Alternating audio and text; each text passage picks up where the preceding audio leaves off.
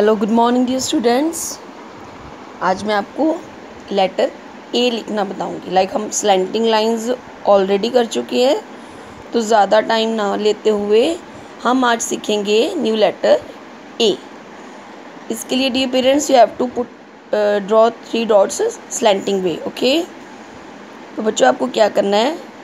From up to down let me tell you one thing हमें three lines में लिखना है। These are three lines okay line one two and three ये जो A B C है, हमें three lines में लिखनी है फोर वाली लाइन में नहीं लिखनी है। तो इसके लिए आपको डॉट डाल के दिए गए हैं। So let start letter A here we put slanting line slanting line A for apple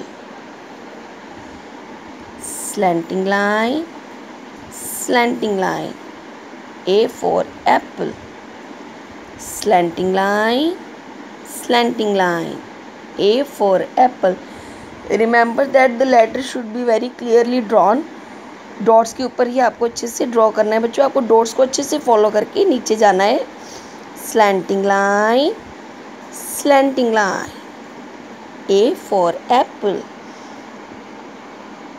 slanting line slanting line A for apple. Slanting line, slanting line. A for apple.